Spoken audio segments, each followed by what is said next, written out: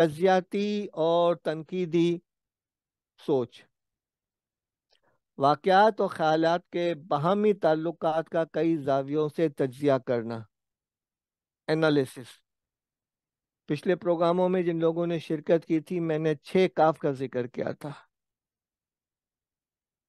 आज के प्रोग्राम में भी अगर आप इन छः काफ का जवाब दे देंगे और जब मैं ये छः काफ बोलूँगा तो आप अपना जवाब तलाश कीजिएगा। क्या? ये प्रोग्राम क्या चीज़ है? क्यों? इसका मकसद क्या है?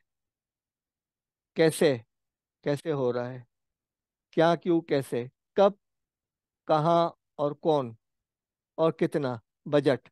ये जो सात काफ हैं, उनका आप ख्याल रखिए तो ये आपकी सोच के अंदर, आपकी प्लानिंग के अंदर मुआविन होंगे।